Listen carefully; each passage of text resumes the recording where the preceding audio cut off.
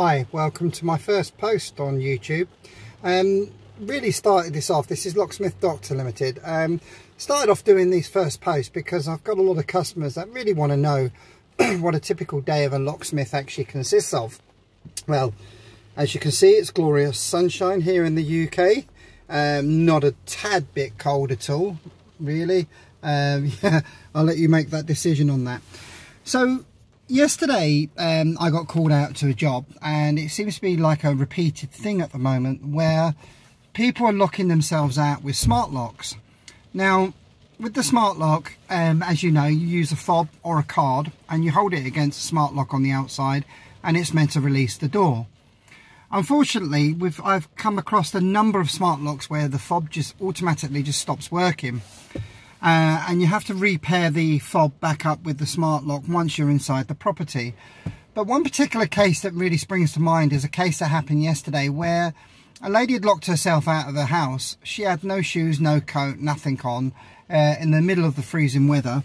Um, and the smart lock just literally just stopped working. Subsequently, because of that, she's decided to remove all smart locks from her premises. So if you're thinking about getting a smart lock, um, the concept is brilliant. Um, personally, I think the technology needs to advance more before I'm convinced that they are um, all singing, all dancing. However, if you are thinking of getting a smart lock, um, always carry your keys and always make sure that you don't leave a key in a door, either in a back door or a side door, because if you do get locked out, um, it can be quite time consuming trying to get back in and you'll probably need a locksmith as well. So I thought I'd just share that first bit of tip with you guys. Um, and what I'll do is I'll end up doing some more YouTube videos for you guys just to see what it's like as a locksmith and just to give you a bit of uh, a bit of my diary and a bit of what we do. Um, before I pass on though, uh, just to let you know that um, here at Locksmith Doctor, we're not about making a quick buck and moving on. We're about quality and affordability and we try and bring the concept of locksmiths being expensive. We try and break that concept by making sure that our prices are very, very good. Um, we got great reviews at the moment from everyone um, and we hope to maintain that um, and we hope to look after our community and basically build a bit of a legacy here rather than just have a, a business where some people go into business just for the flashy car and the nice house. That's not what we're about.